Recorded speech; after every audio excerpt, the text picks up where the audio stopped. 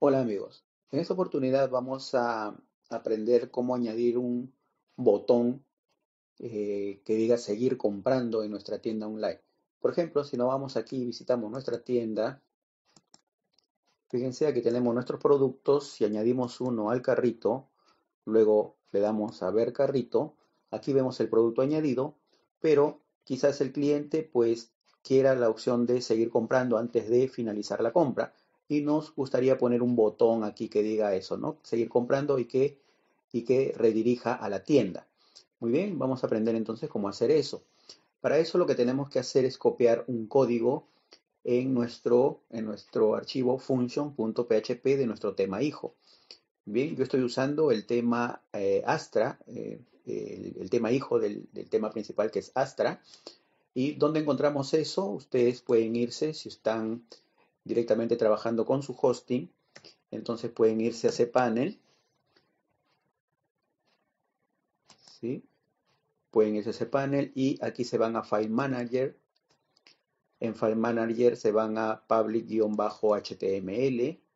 Luego se van a la carpeta wp-medio content. Luego buscan la carpeta temes, le dan doble clic allí. Y finalmente buscan ahí la carpeta de su tema hijo, ¿verdad? Bueno, eh, en este panel yo no tengo el Astra Child, ¿sí? Pero lo voy a trabajar en el mismo procedimiento, voy a hacerlo, pero en voy a hacerlo en eh, localhost. Bien, si ustedes ubican aquí entonces Astra Child, le darían clic, doble clic allí y aquí en la en el archivo function php lo abrirían ahí con edit con edit abrirían ahí, ¿sí? Y luego pegarían el código que a continuación, debajo de todo, debajo de todo pegarían el código que a continuación les voy a dar. Muy bien, entonces como le digo, yo estoy trabajando en localhost, para eso voy a buscar en mi sistema de archivos, voy a buscar en la carpeta que estoy trabajando, en WP Content aquí, luego nos vamos a temes, luego a la carpeta Astra Child y aquí en functions PHP lo voy a abrir.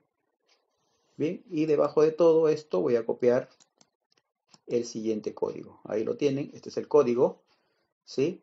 Eh, pueden pausar el video si lo desean copiar o de lo contrario me pueden contactar para enviarles el código. Les envío a su correo o de alguna otra manera. Muy bien, entonces ya está pegado aquí el código, le damos clic a guardar. Como repito, ustedes lo pueden hacer también en trabajando directamente en su hosting. Muy bien, una vez que ya está guardado el código, ¿sí? vamos a refrescar aquí. Y fíjense, aquí ya se añadió el botón de seguir comprando, de tal manera que si ahora le damos un clic allí, nos redirige nuevamente a nuestra tienda. Muy bien amigos, entonces espero que este tutorial les haya servido. Nos vemos hasta la próxima.